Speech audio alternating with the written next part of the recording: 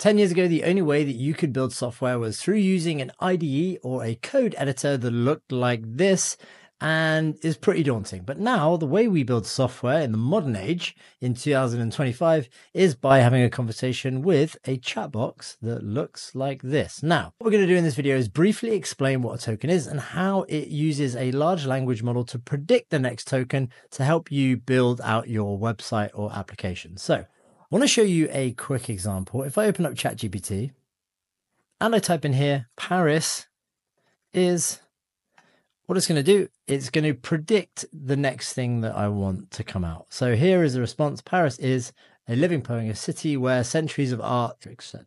So that's how it works. And what we can do is actually speak to Bolt just using that natural language with words, and it will go and build us an app. Now, if I was to go and build something in Bolt, I'd probably paste something like this if I was just getting started. Build me a cool site. Now, this prompt is going to be broken down and it's going to comprise of a number of tokens. Now, you can see up here, I have a balance of 115 million, 115.8 million tokens remaining. And every piece of information that I put into Bolt and the information that comes out of Bolt in terms of code is going to consume my token. So how do we know how many tokens it's going to consume. Well, what we can do is we can copy this and go to this site. It's called Tiktokenizer. Now, if I paste this prompt into here, you can see that the token count is five. Build me a cool site. But you can see that each token has a numerical value and it also includes the spaces as well. So let's try something else. Let's expand on this prompt. Let's click this enhance prompt button. This is going to give us a more in-depth prompt.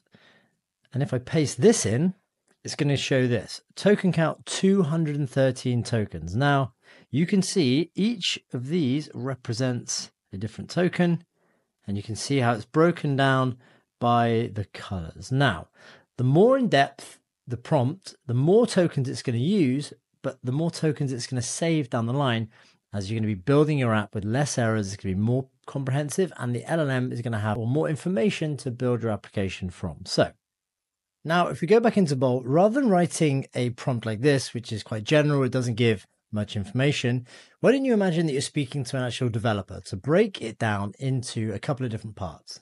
And one thing I like to do is break it down like this into a task, the context, the constraints, and the output. So let's say we could do build a single page portfolio site context, I'm a UX designer. The constraints could be Tailwind only, but you could do black and white only. And the output could be live preview in the style, in the style of Apple and Notion. There is a bit more information that you can give to Bolt to actually go ahead and start building your application. So once you've sent that, Bolt's going to go away and start building out your website or app. So the more information that you give Bolt upfront, the better the output's going to be. So if you can actually think through your idea in your head, who you are, what you do, what's the objective of the website, who you want to appeal to, what's the colorway, put that into the conversation. Actually, just have a chat, have a conversation with this text box, and you're going to get really good output. So here we go. We've got a nice clean portfolio for a UX designer here. We've got some projects. We can add some images, some skills and expertise, tools and technologies. And it pretty much followed the prompt that we gave it. So when you're using tokens, remember, use more tokens up front to give it more information to better guide the outputs. And if you want to follow this framework, you can. It's task, context, constraints, and output. And that will give you better apps and websites. Hope you enjoy this video and catch you on the next one.